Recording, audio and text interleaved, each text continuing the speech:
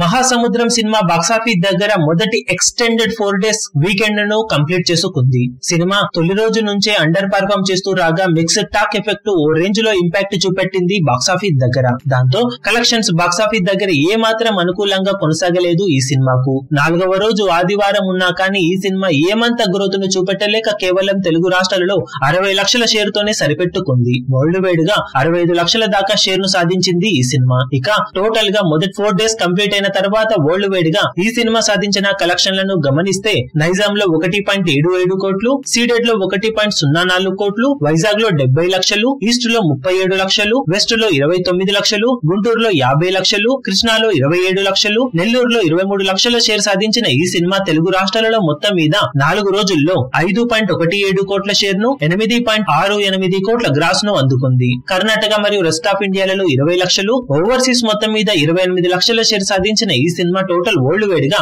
ఐదు పాయింట్ ఆరు ఐదు కోట్ల షేర్ను తొమ్మిది పాయింట్ ఎనిమిది ఐదు కోట్ల గ్రాస్ను అందుకుంది. సినిమాను పదమూడున్నర కోట్లకు అమ్మగా పద్నాలుగు కోట్ల టార్గెట్తో బరిలోకి దిగిన ఈ సినిమా నాలుగు రోజుల ఎక్స్టెండెడ్ వీకెండ్ తర్వాత ఇంకా ఎనిమిది పాయింట్ మూడు ఐదు కోట్ల షేర్ను ఇంకా అందుకోవాల్సిన అవసరం ఉంది. మరి బాక్సాఫీస్ దగ్గర ఈ సినిమా మిగిలిన రన్లో ఇంకెంత దూరం వెళ్తుందో చూడాలి. ఈ వీడియో మీకు నచ్చినట్లయితే లైక్ చేయండి షేర్ చేయండి ఛానల్ను సబ్స్క్రైబ్ చేయడం మాత్రం మరవకండి. ఏ చిన్న అప్డేట్ను మిస్ అవ్వకూడదు అనుకుంటే బెల్ ఐకాన్ను ప్రెస్ చేయండి.